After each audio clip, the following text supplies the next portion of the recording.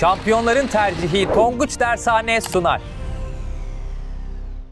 Herkese merhabalar. Bugün sizlerle birlikte gerçekten milli egemenlik açısından çok önemli bir konu öğreneceğiz. Halifeliğin kaldırılmasını öğreneceğiz. Milli egemenlik neydi? Milli bağımsızlık neydi Tonguç evladım benim? Milli bağımsızlık ülkeyi kurtarmak, milli egemenlik ise ülkeyi halkın yönetmesi. Harikasın. O zaman bugün esasında ülkenin idaresiyle alakalı olan, ülkenin yönetimiyle alakalı olan halifeliğin kaldırılmasını öğreneceğiz sonuç evladım benim. O zaman halifelik sence neyle alakalı? Milli egemenlikle alakalı. Evet yani halifeliğin kaldırılması daha doğrusu milli egemenlikle alakalı. Halifelik dini lider demek. Dini ve siyasi lidere biz halife diyoruz. Neden kaldırıldı? Çünkü milli egemenliğe tersti.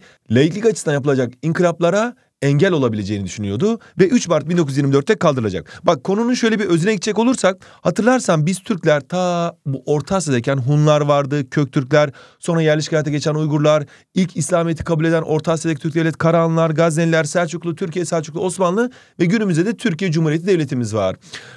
İslam tarihine baktığımızda ise önce Araplar vardı. Araplar böyle cahil yaşıyorlardı. Sonra Hazreti Muhammed peygamberimiz geldi. Ardından dört halife dönemi başladı. Yani peygamberimiz öldükten sonra dini ve siyasi lider olan tüm Müslümanları temsil eden bir makam olan halifelik kavramı geldi. İlk halife Hazreti Ebubekir'di, sonra Hazreti Ömer, Hazreti Osman, Hazreti Ali. Sonra halifelik saltanata dönüştü. Yani babadan oğula geçti, Emevilere geçti. Sonra Abbasiler vardı. Abbasiler zamanında biz Türkler İslamiyet'le tanıştığımız gibi aynı zamanda Abbasi halifesini koruduk da. Sonradan Memlüklere geçti. Arada başka küçük devletlerde de vardı halifelik.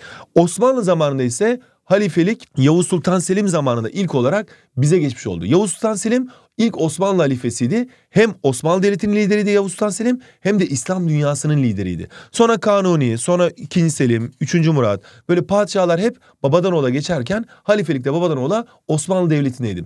Sonlara doğru en sonda son padişahımız Vahdettin'di.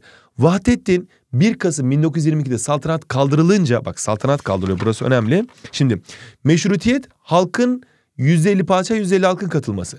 Büyük Millet Meclisi ile milli egemenlik kabul ediliyor. Saltanat kaldırıldığı zaman 1 Kasım 1922'de saltanat kaldırıldığı zaman Tonguç evladım benim ne oldu? Milli egemenlikle alakalı. Harikasın. Saltanatın kaldırılması milli egemenlikle alakalı ama saltanat kaldırıldığı zaman halifelik kaldırılmamıştı. Yani 1 Kasım 1922'de Vahdettin halife ve padişahtı. Padişahlık görevi gitti.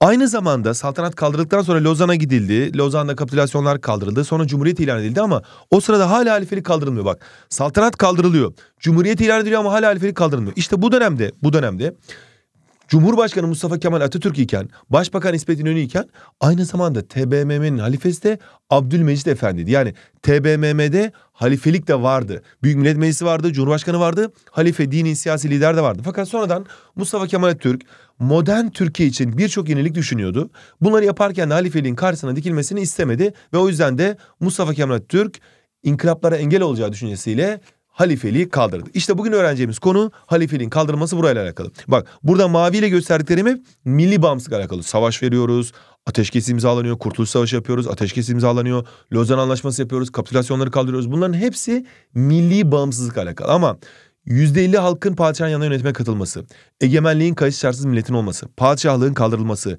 cumhuriyet rejiminin kabul edilmesi, halifeliğin kaldırılması bunların hepsi milli egemenlikle alakalı Tonguç'um. Bugün bu konuyu öğreneceğiz. Bu arada çok çok önemli bir haberim var. Introya girmeden önce çok önemli bir haberimiz var. Onu da söylemek istiyorum. LGS hızlanma kampımız 4-8 Mart'ta başlıyor arkadaşlar. Bu çok önemli bir duyuru. Hızlanma kampında sizlerle beraber iki önemli derste Türkçe'de ve matematikte hızlanıyoruz. Türkçedeki hızlanmamız için arkadaşlar Paragraf 10 kitabımızdan sizlere ödevler vereceğiz. Hızlanma ve odaklanmayı sağlayan çok önemli bir kitap. Burada süre yönetimini sağlayacağınız süper testler var. Bakın 20 dakikada, 22 dakikada, 10 dakikada, 14 dakikada, 17 dakikada her bir test için süreler verdik. Bu sürelerde çözmeye çalışırken hem paragraftaki infografik sorularda, yeni sorularda deneyiminiz artacak, tecrübeniz artacak hem de hız kazanacaksınız, süre kazanacaksınız. Diğer bir kitabımız ise LGS Matik, matematik denemeleri. Burada da temelden zora doğru sınav provası yapacağız. Buradaki sorular esas ilk başta temel seviye matematik denemesi, sonra orta, sonra üst seviye matematik denemelerine geçeceğiz. Bir de tabii ki kampa ismini veren hızlanma denemelerimiz var. Bu üç kitabı sizlerde de hızlanma kampında kullanacağız. Hatta bu üç kitabı kampta birlikte aldığınız zaman sizlere birinci dönem konularından oluşan ana denemelerini hediye ediyoruz arkadaşlar. Bu da birinci dönem konularını tekrar etmeniz için. Dolayısıyla bu üç kitabı mutlaka kamp halinde bizlere katılırken mutlaka alın. Yanında da bu hediye kitabı sizlere gönderelim arkadaşlar. Bu dört kitapla süper bir kamp yapacağız ve ardından da hızlanma kampı sayesinde LGS'de netlerimizi artırıp mükemmel bir hıza ulaşacağız. 4-8 Mart'ta 8 sınıf kanalımızda sizleri bekliyoruz arkadaşlar. O zaman şimdi intromuz girsin. Halife'nin kaldırılmasını güzel bir şekilde öğrenelim. Ardından da mükemmel bir şekilde LGS yolculuğumuza devam edelim. Hadi bakalım. İkinci dönem planlı programlı olmak isteyenler. Yazılılardan yüksek not almak isteyenler. Okul derslerini eğlenceli hale getirmek isteyenler. O zaman Tonguç Cup 3. sezon heyecanında sen de yerini al. Şimdi tonguçakademi.com'a gel, ücretsiz kayıt ol, takımınla birlikte bu maceraya katıl. Şimdi Tonguç'um 3 Mart 1924 tarihi çok önemli. Neden biliyor musun? Bilmiyorum hocam. Hemen söyleyeyim çünkü bu tarihte çok önemli olaylar oldu. Bak halifelik kaldırıldı bu siyasi bir olaydı. Tevhid Tedrisat Kanunu kabul edildi bak halifelik kaldırıldı bu siyasi bir olay. Tevhid Tedrisat Kanunu geldi eğitimde birlik kanunu geldi. Bu eğitimle alakalı bir olay. Yani hatırlarsan Osmanlı eğitimde birlik var mıydı? Yok hocam. Harikasın. Bu bilgi çok önemli. Niye? Medreseler vardı, azınlık okulları vardı, modern okullar vardı, askeri okullar vardı. Osmanlı'da eğitim birliği yoktu. İşte Mustafa Kemal aynı amaçta, aynı hedefte toplanmış bir millet için Tevhid Tedrisat Kanunu kabul etti. Eğitimle alakalı bir şey bu. Bunu sonradan öğreneceğiz yine. 3 Mart 1924 tarihinde Şer'iye ve Evkaf vekaleti kaldırıldı. Şeriye vekaleti kaldırılarak yerine Diyanet İşleri Başkanlığı kuruldu. Evkaf yani vakıflar vekaleti kaldırılarak da yerine sosyal alanda bir e, değişim olan Vakıflar Genel Müdürlüğü kuruldu. Ve aynı gün aynı zamanda Erkan-ı Harbiye vekaleti de kaldırıldı. Bak bu da kaldırıldı. Bunlar hep kaldırılanlar. Bunun yerine de Genelkurmay Başkanlığı kuruldu. Bu da yine askeri bir olay. Ve aynı zamanda 3 Mart 1924'te Osmanlı Hanedanı da yurt dışına gönderildi artık. Yani süresi olarak gönderildi. Hatırlarsan 1 Kasım 1922'de saltanat kaldırıldığında halifelik hala devam ediyordu. Yani şöyle söylüyorum. Vahdettin 1 Kasım 1922'de yurt dışına gönderilmişti ama Abdülmecit Efendi yani onun amcasının oğlu hala TBMM'nin halifesiydi. Fakat Lozan Anlaşması, Cumhuriyet'in ilanı ve ardından halifenin kaldırılmasıyla artık Osmanlı Hanedanı'ndan kimse kalmadı Türkiye'de. Onların hepsi yurt dışına gönderildi. Şimdi birincisi halifeliğin kaldırılmasına bakalım.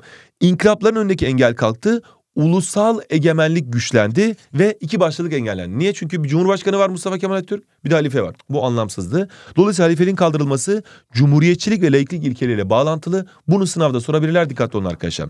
Şeriye ve efkaf vekalетinin kaldırılması da çok önemli bir olay. Laiklik yoluna yapılmış bir adım.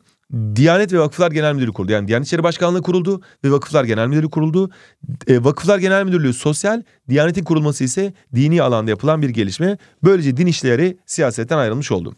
Erkan-ı Harbiye vekaleti kaldırıldı. Bak bu da kaldırıldı. Onun yerine Genelkurmay Başkanlığı kuruldu. Ordu siyasetten ayrılmış oldu. Cumhuriyetçilik ilkesi yoluna yapılan önemli bir adım Tonguç Evladım benim. Şimdi bir de 1924 Anayasası'nın kabulü var. Bu da çok önemli. Şimdi biliyorsun 1921 Anayasası, 1921 Anayasası Kurtuluş Savaşı sırasında yapılmıştı. Yani kısa bir anayasaydı, öz bir anayasaydı. Hak ve özgürlükler kısıtlıydı. Çünkü o dönem savaş dönemi. Biliyorsun biz o dönemde milli mücadeleyi yapıyorduk. Yani ne yapıyorduk Tonguç Eladım benim? Düşmanı denize dökeceğiz. Harikasın. Düşmanı denize dökmek için mücadele ediyorduk. Sen şu anda ne yapıyorsun Tonguç Eladım benim? LGS ile savaşıyoruz. Cehaletle savaşıyoruz. Harikasın. Sen de şu anda LGS ile savaşıyorsun, cehaletle savaşıyorsun. Mükemmel. İşte o dönemde 1921 Anayasası döneminde kısa, öz ve hak ve özgürlüklerin kısıtlı olduğu bir anayasa vardı. Ama 1924 Anayasası'yla artık önemli değişiklikler oldu. 1924 Anayasası'nda artık Cumhuriyet rejimini kabul ettiğimiz için yani 1923 yılında biliyorsun bak burası önemli.